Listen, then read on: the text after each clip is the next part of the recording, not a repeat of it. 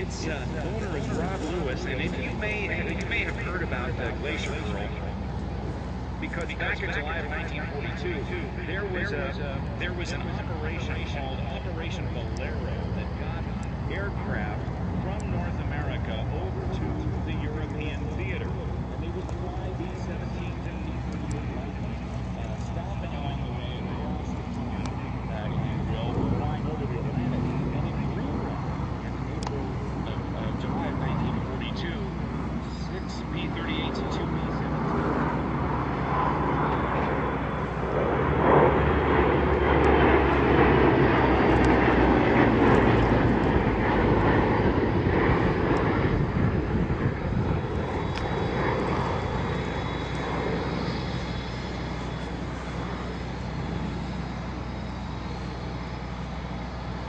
The P-38 known as Glacier Girl was one of the one of the aircraft that went in July of 19. Members were retrieved, but the airplanes were left.